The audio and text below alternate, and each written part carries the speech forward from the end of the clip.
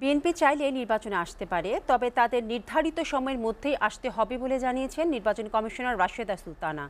নির্বাচন কমিশনার মোহাম্মদ আলমগীর দাবি করেছেন, নির্বাচন নিয়ে বহির্বিশ্বের কোনো চাপ নেই। আর ইসি সচিব মোহাম্মদ জাহাঙ্গীর আলম জানান, জাতীয় সংসদ নির্বাচনে বিদেশি সাংবাদিক এবং পর্যবেক্ষকদের নিরাপত্তাকে বিশেষ গুরুত্ব দিচ্ছে নির্বাচন কমিশন। ঢাকা এবং ঢাকার বাইরে আলাদা অনুষ্ঠানে এসব কথা বলেন তারা। স্বস্তিকা সিংহের প্রতিবেদন। আসন্ন জাতীয় সংসদ নির্বাচনে সব ধরনের প্রস্তুতি নিয়ে এখন ব্যস্ত সময় পার করছেন নির্বাচন কমিশনার সহ সংশ্লিষ্ট কর্মকর্তারা। দেলোয়ার হোসেন। নির্বাচনী প্রস্তুতি নিয়ে রাজশাহী শিল্পকলা একাডেমির মিলনায়তনে মতবিনিময় সভা করেন নির্বাচন কমিশনার রাশেদা সুলতানা। কীভাবে হবে সেটাও এখনই ওনারা না পরে সাংবাদিকদের তিনি বলেন বিএনপি নির্বাচনে আসলে পূর্ণ তফসিল করা হবে। নির্বাচনে দেশি বিদেশি পর্যবেক্ষক থাকবে।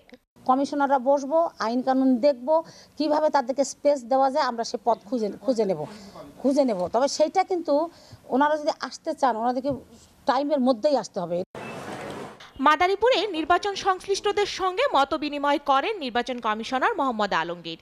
তিনি বলেন সঠিক সময়ে নির্বাচন হবে আর নির্বাচনের দিন সেনাবাহিনী মাঠে থাকবে।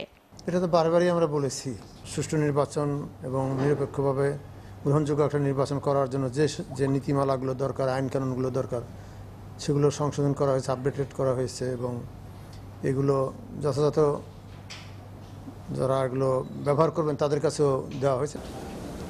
এদিকে রাজধানীর আগারগাঁও নির্বাচন কমিশনে স্বরাষ্ট্র, পররাষ্ট্র, তথ্য, জাতীয় রাজস্ব বোর্ড সহ বিভিন্ন মন্ত্রণালয় ও অধীনস্থ বিভাগ ও অধিদপ্তরের সাথে সমন্বয় সভা করেন নির্বাচন কমিশনার সচিব মোহাম্মদ জাহাঙ্গীর আলম।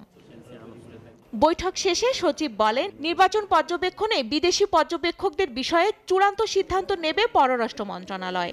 পনেরোই ডিসেম্বরের পরে কারা আসছেন আমাদের আমন্ত্রিত অতিথি সেটা আপনাদেরকে বলতে পারব। তারপরে তাদের জন্য আমরা প্ল্যানিং করব। আর যারা নিজ খরচে আসবে সাতই ডিসেম্বরের পরে তাদের সংখ্যাটা বলে তার আলোকে আমরা প্ল্যানিংয়ে যাব। নির্বাচনকালীন বিদেশি পর্যবেক্ষকদের নিরাপত্তার ছাড়পত্র প্রসেসিং অন এয়ারভেল ব্যবস্থাকরণ এয়ারপোর্ট হেল্প ডেস্ক স্থাপন, মিডিয়া সেল স্থাপন সহ সার্বিক নিরাপত্তার বিষয়ে আলোচনা হয়েছে বলেও জানান Mohammad Jahangir Alam. Swastika Singha, S TV, Dhaka.